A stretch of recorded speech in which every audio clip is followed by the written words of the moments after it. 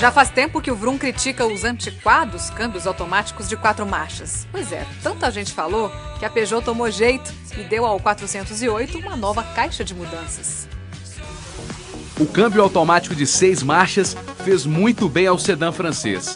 Esta transmissão de seis velocidades era exclusiva dos carros com motorização THP da Peugeot.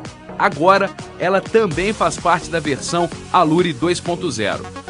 O motor 2.0 continua o mesmo.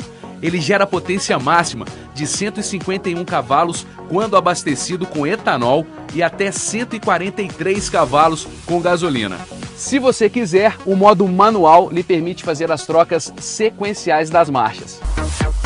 Bom para quem curte uma tocada mais esportiva e antes tinha que se conformar com um ultrapassado automático de quatro velocidades.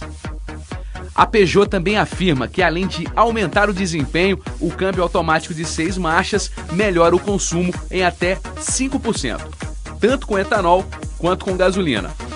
Outra contribuição para a economia são os chamados pneus verdes, de baixa resistência ao rolamento.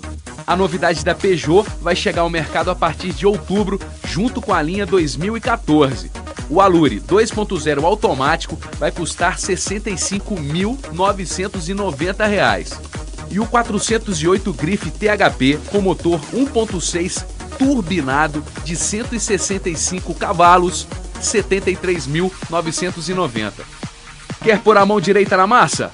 O Alure 2.0 manual, o mais barato deles, sai a R$ 59.990.